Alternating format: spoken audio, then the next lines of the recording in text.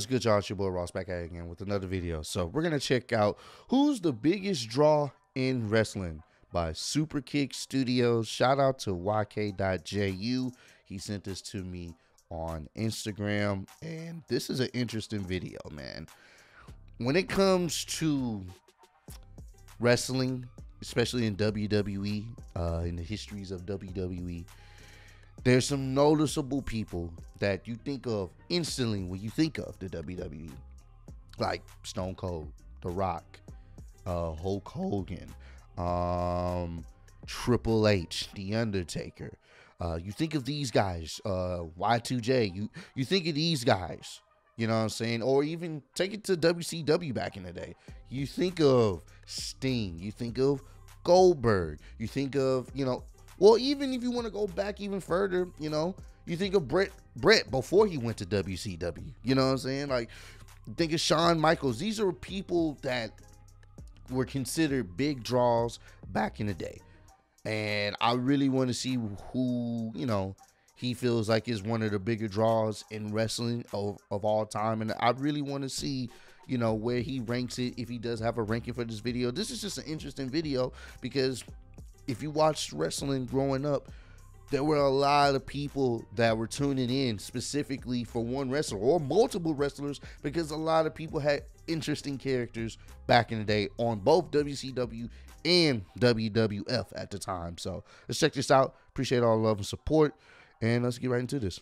Being a draw in professional wrestling being a spectacle larger than life, mm-hmm. a character which the audience can get behind, selling merch, and of course, putting butts in seats. Yep. The term draw in professional wrestling is open to interpretation.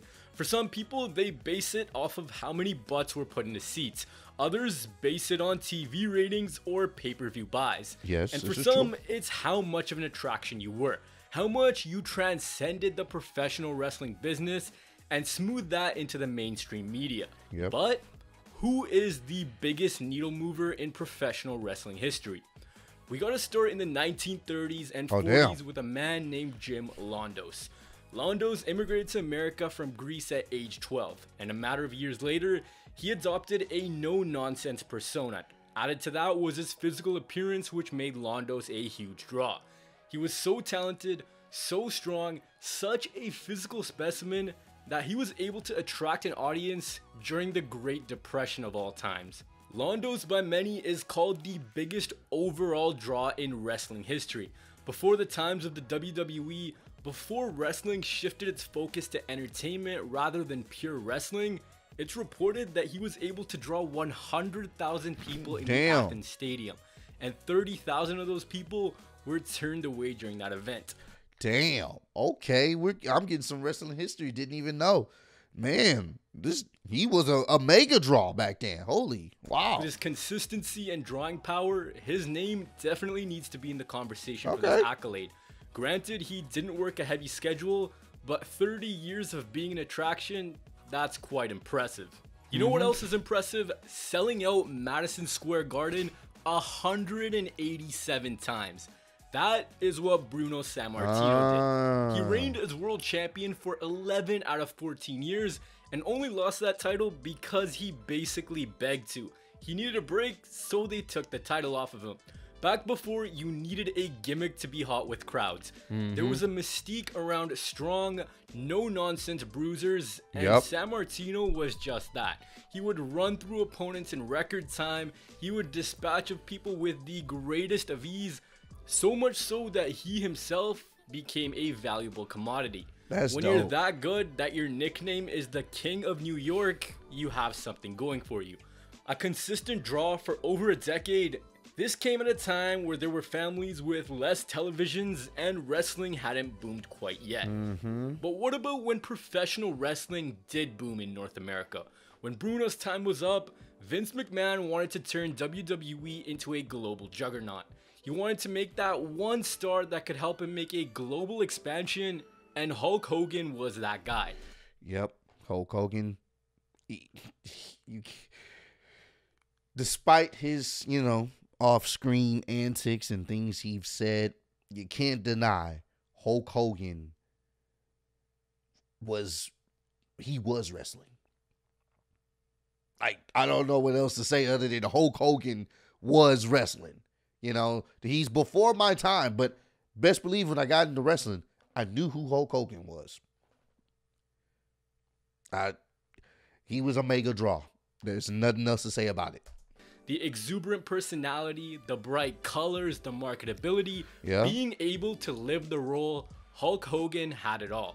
Without Hulk Hogan, professional wrestling does not reach the heights it did in the Facts. 80s. Words this do not do justice how much of an impact Hulk Hogan made in helping the WWF cross over into the mainstream mm-hmm. media. He was wrestling's first global megastar. He was the reason why wrestling went from a niche to catering to a worldwide. This is true. Yeah. Without Hulk Hogan, there's no there's no Stone Colds, The Rocks, you know what I'm saying? There's no Mick Foley's.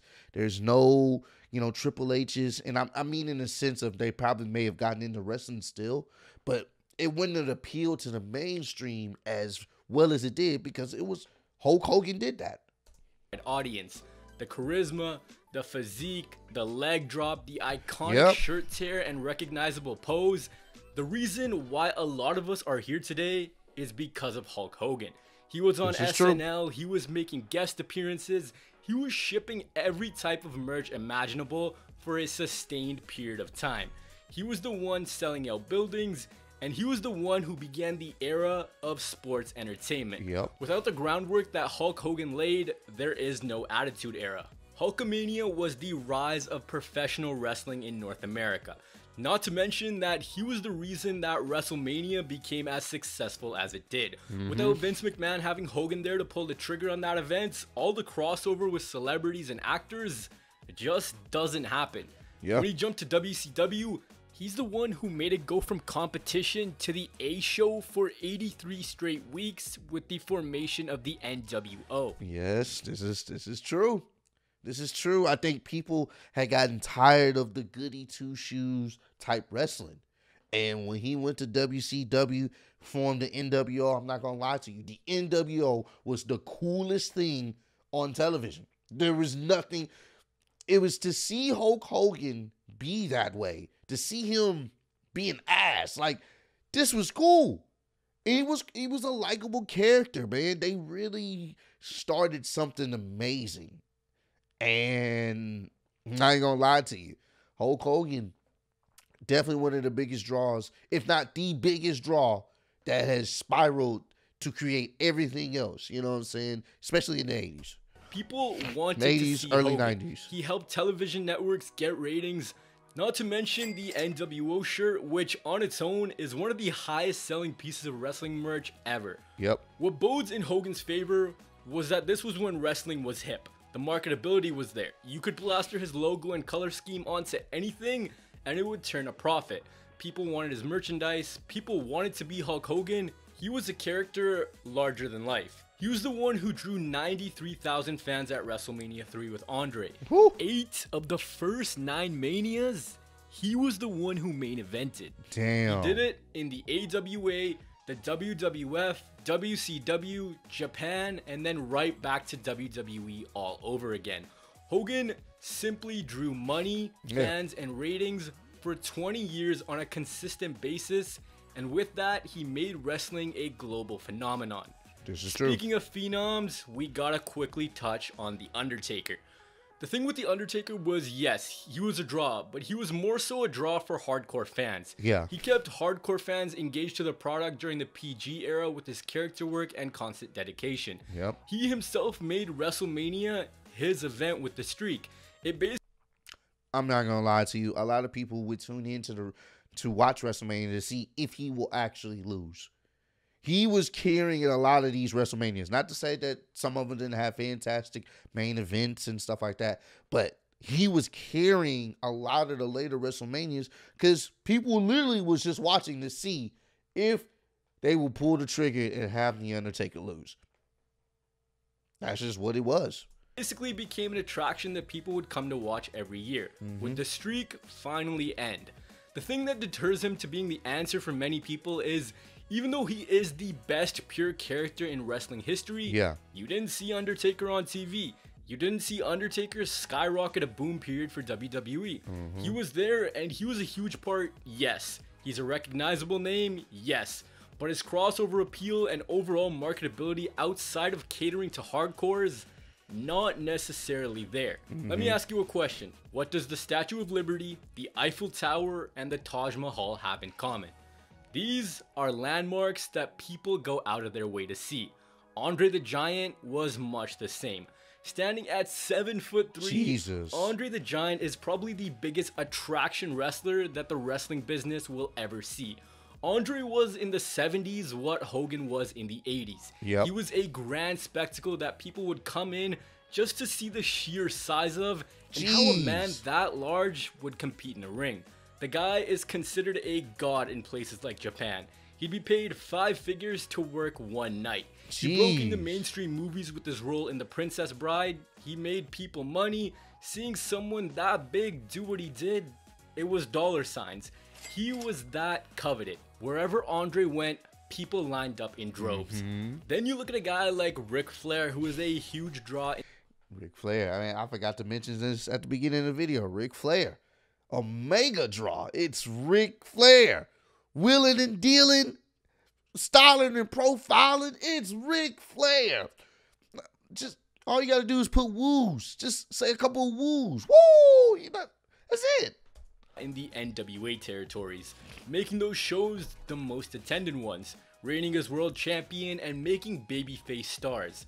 Flair's style was perfect in the NWA, but as pay-per-views and television networks started to rise, people started to find Ric Flair's limitations in the ring. The way he wrestled, yeah, it was a draw for the NWA system, but probably wouldn't have worked on a larger scale like WWF or WCW. But I think universally the man that is regarded as mm-hmm. the biggest draw in professional wrestling history Stone is Cold. Stone Cold Steve yep. Austin. When the argument is made between Austin and Hogan, people will say that yes, Hogan drew for a longer period of time, but Austin drew better numbers in a smaller period of time. I can see that. Granted, once again, without Hogan being that mainstream uh rocket boost you know, Stone Cold may not have be may not have been as over in the sense of mainstream appeal. Because I want y'all to understand, Stone Cold was that guy. Didn't it didn't matter what race you was, black, white, Indian, it didn't matter. You loved Stone Cold for what he stood for. No nonsense guy, doesn't take BS from anybody, doesn't care if you are the boss, he will stun you. He is what he was the embodiment of what everyone wanted to do when they had a nine to five. They just didn't want to hear the boss mouth. They just wanted to stun their boss, but they couldn't because, you know, had to make a living. But Stone Cold was somebody you could live through because he, Vince McMahon, didn't matter. Oh, you own the company, you pay my paycheck, don't matter. I'm to give you a stunner. Oh, you don't like me? I'm to give you a stunner. Oh, you're a cool guy. I'm to give you a stunner. It was just great he was just a fantastic character overall, overall, and a mega draw. I don't know what else to say. He is the embodiment of the Attitude Era. Made them a lot of money. If you were to inflate Austin's numbers, he'd be higher than Hogan. Austin was WWE's hottest star in their most profitable era. Yep. A time where everything was wrestling. The Attitude Era. Without Stone Cold, the WWF was dead. He carried that roster and plugged WWF from going out of business. His popularity with the fans was sky high. Mm-hmm. He received some of the biggest reactions and fanfare in the history of yes. pro wrestling. Then came his merch sales, which are unopposed by any other star in the time frame Austin performed. The Austin 316 shirt yeah. is the highest selling shirt in wrestling history, and to this day, Austin remains one of the top merchandise sellers in the WWE. With that, wherever he went, he was able to bring people into arenas. Mm-hmm. The badass persona, the simple yet very recognizable look, and of course, the Austin 316 catchphrase. He was the one who, after Hogan left, brought WWF back to the mainstream eye in its most popular time. Mm-hmm. They were able to branch off into different ventures, be that merchandise, television commercials, and overall mainstream exposure. He did this during the height of the Monday Night Wars, and mm-hmm. in that mm-hmm. boom period for wrestling, he won the war for WWF. This he turned all the tide true. against WCW, and his returns in the 2000s generated bigger needle moving business than any wrestling return. And it was so much more than that. That goes for live events, merchandise, TV ratings, pay per view buys. That is undisputable. Austin is the reason why in 1999, WWE went from a private company to a public company.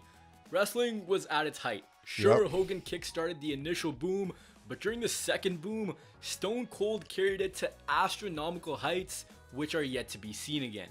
But at the same time as Stone Cold Steve Austin, the company had another full-time megastar, Yep. and that was The Rock. The Rock. Both these men's popularities at a fever pitch at the same time. Mm-hmm. A lot of people will argue that The Rock's popularity came because of Stone Cold. But when you look at the Attitude Era's prime years, that was in 1999 to 2001.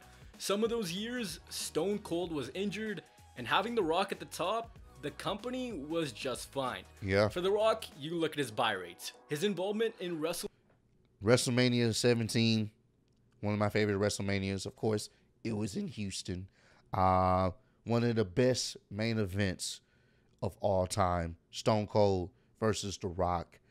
I mean, it was great. And then, of course, the turn was kind of a, you know, it had mixed reactions.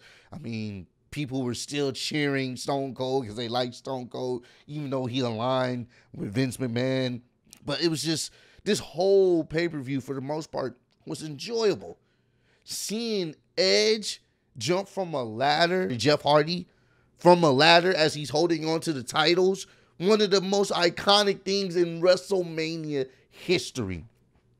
And reportedly, they never even practiced that spot. They they talked about it, they just never practiced it. Just just ridiculous, man. Bruh, I I could go on and on about this pay-per-view. WrestleMania 27 as the guest host alone got that show 6.6 million dollars. Damn. And then he has to his name the most bought WrestleMania ever. WrestleMania 28 with John Cena. 1,217,000 buys. But pay-per-view buys aside, you look at The Rock's marketability, having a mm-hmm. catchphrase like "Do you smell what The Rock is cooking?"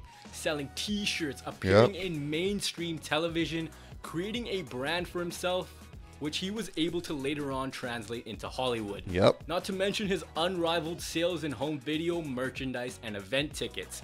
The audience hung on his every word. This is he true. had the charisma, the fun moves, the compelling character. Many will say that The Rock took things even higher by giving Stone Cold a run for his money. Yeah. 2000 to 2002, those were the years where it was The Rock show. Rock was on the cover of all the video games and Yep. magazines. He was hosting SNL, and many would say that he was the biggest pop culture influence at that time. Mm-hmm. There are some factors that deter The Rock from being regarded as the bona fide top draw in the industry. The longevity is one of them because he turned to Hollywood pretty quick. Yeah. But in today's day and age, if you were to put The Rock's face on merchandise, if you were to tell audiences that he'd be returning, just based on his overall global appeal and stature in the entertainment industry, he would easily drop. Facts. But There's no there's Every no denying is it. filled with special If The Rock celebrated Was together. to come back and they announce What it about- for what for any show, it's instantly gonna get some more views now because people like The Rock. They look they like his movies for the most part. He's entertaining. People are gonna tune into that. Of course, the rumors are going he's supposed- to return at Survivor Series. I hope he does, because if he does, man, the roof off that that off that building going to explode. when The Rock and Austin were gone? What about when the Attitude Era had ran its course? Well, then WWE was left without a main attraction. Mm-hmm. And then we had Brock Lesnar's mega push to the top. Yep. And let's be real, Brock Lesnar did not become a draw in WWE. He became a draw when he left WWE. This guy was carrying the UFC for a period of time with some of the highest fight mm-hmm. card buy rates. When he came back in 2012, he was a much bigger name because of his dominance in the UFC. People were like, this is a legit fighter, and now he's going back to WWE, which created a huge buzz. A recognizable name which caters to both fans of sports entertainment and the mm-hmm. combat world. Brock brought in fans from the UFC to WWE and vice versa. When you look at the presence, sheer viewership, television numbers, and worldwide appeal, Brock's the guy. And then you come to the quintessential company man. Marketable mm-hmm. and consistent. John and Cena. is John Cena. You can say whatever you want about John Cena, but you cannot argue, much like Hogan smoothed the transition from niche to mainstream, Cena did that for TV 14 to PG. John Cena has made WWE the most money ever over. Yep. You may not like him. You you may not have liked how he, you know, was at, at definitely at one point shoved down our throats, but John Cena for the kids that were growing up in the PG era, they were his Hulk Hogan. They were his Stone Cold. Simple as that.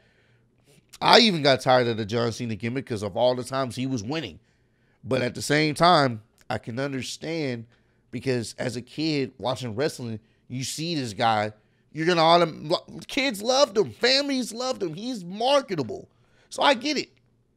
He wasn't always my favorite, but I could respect when it wasn't really he wasn't really geared towards us. At at the beginning, he was with his his rapping persona and his edgier comments, but as the years went by, he was geared more towards the children and the children look up to him. So I can't even get mad at that. Overall for merchandise. Not one particular item, but wristbands, t-shirts, yep. obscure items like these. You name it, Cena turned a profit for that company. Yeah, he Simple did. Simple things like a spinner championship. People will complain, but you look at PG, parental guidance, catering to an audience yep. of children and families. John Cena's superhero character, that was him. the bright colors, the friendly face on the merchandise, it was the perfect money making machine for the WWE. Then you look at how much Cena helped expand WWE's global viewership and make himself a household name. 9 times out of 10, you ask someone who John Cena is, they'll tell you no problem. Yeah. He's he's one of those people that's transcended into the world outside of wrestling. People know who John Cena is, right? It's, especially now that he's been in more movies and stuff like that. People know who he is. As one of very few megastars who can still go in the ring, when Cena returns, it boosts attendance and it does. figures. It does. Looking at ratings, yes, they did fall under Cena's hand. Mm-hmm. But that was an inevitable drop that was going to come no matter what. As television becomes more oriented towards on demand, the numbers will go down. The thing with Cena being so high in merchandise sales is also that his longevity has been extremely strong for the company. Mm-hmm. If you were to adjust someone like Stone Cold's number, he'd be in the same ballpark. Also with Cena, the ability to cross over into the mainstream. You look at the You Can't See Me, which became globally recognized, mm-hmm. the amount of goodwill he brought to the WWE with his charitable work, the whole persona and legacy he built for the company, there you go. If you want to talk pay-per-view buy rates, Cena shares that distinction with The Rock. And then you look at a guy like CM, CM Punk. Punk. man. CM Punk's run on top of WWE was very short, and it has yeah. an asterisk beside it because they didn't really let him break out into that mainstream media. Then you look at his AEW return and the amount of viewership and t-shirt sales it got. He was the one, although for a brief time, that ended Cena's reign as the top merch seller. Speaking of reigns, we get to the tribal chief. Oh man, I knew he was gonna get there, man. And CM Punk, I feel like if they would have probably treated him better, he could have he he was on his way to being the next guy to really elevate that company because older fans could get behind someone that gave them that edgier content that that it didn't just reek of PG. Like he didn't have to curse and go crazy with it, but it just he cared more about professional wrestling and bringing some aggressiveness and some attitude to whatever he was doing, and it worked. It's just they didn't really, you know, treat him well, and, and you know they kind of kind of treated him as a um, as a, a, a means to an end. They knew his popularity was astronomical, but at the same time, they didn't really treat him the, with the respect that he claimed that he deserved. And understandable, you know what I'm saying? You know, letting a man go on his wedding day, that was just petty. You know, and he always, you know, told the company line he did, you know, what Vince wanted him to do, no matter what it was. Even if he wasn't you know, in agreement, he did what Vince wanted him to do, and he just felt like he got betrayed. You know, he felt like he was being held down. So I'm glad he is in AEW doing the things that he loves and, and you know, is in a, a better place mentally and physically. The man who reportedly has rivaled John Cena's merch totals as a heel, no less. Yeah. Right now, the exposure for him is amazing. He's on Fox, a huge network. He's easily the biggest full time star in all of pro wrestling. Yep. His reactions are getting hotter and hotter every yep. week, and he's the top guy at a time where WWE is grossing their highest income. I think gauging Reigns' popularity at this time is a double edged sword. Yeah, you can see it on social media and with crowds, but also we're in a very streaming oriented world where mm-hmm. people will watch clips on YouTube rather than actually sitting down in front of their TVs. So yes, Roman Reigns is a draw right now, but how much of a needle mover he is will be seen in years to come. Yeah. There's still a ways to go. So, who is it? Who is the biggest draw in wrestling history? Well, if you're talking sheer money, the best money draw in professional wrestling is Stone Cold Steve Austin. Figure that. If you were to say that he'd be returning tomorrow to the ring, all the older fans would want to see it, coupled with the new generation too. Yep. The glass shatters when that man enters, yep. and so does the money. But if you look at pure drawing power, being a physical specimen, no over the top BS, then the answer is probably Londo, Sammartino, or Andre. If you bunch longevity, Cena and Hulk are the kings of uh-huh. drawing a consistent viewership and translation into the mainstream sphere of the entertainment business. If I had to pick one, it would be Stone Cold. Mm. He didn't mm. outstay his welcome. He helped WWE reach astronomical heights, saved a product that could have been down under. I'd say the issue in determining who's the biggest draw comes down to a multitude of factors. You don't have access to company financials. Yeah. The eras are very different. Inflation is the thing that needs to be determined. True. And the overall popularity of wrestling is not in the same scope anymore. It's a debate true. that's gonna rage on forever. But who do you think is the biggest draw in professional wrestling history? Who, in your opinion, is the biggest needle moving star in the history of professional wrestling? Let me know in the comments below. That is a good question. seeing what you guys have. That is a good question, and uh, I'm gonna answer it first for myself if I had to choose, honestly, I'm gonna give it to Stone Cold. I, you know, I can respect what Hulk Hogan has done. Obviously, without Hulk Hogan, you don't have a lot of these stars. But I have to give it to Stone Cold because it, um, it was like he said when you heard that glass break, people lost their shit.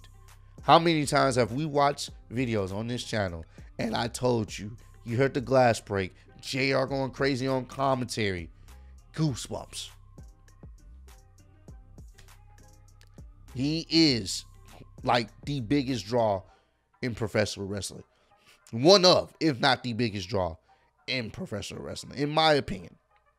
And you may have some different ones as well. So I want to know.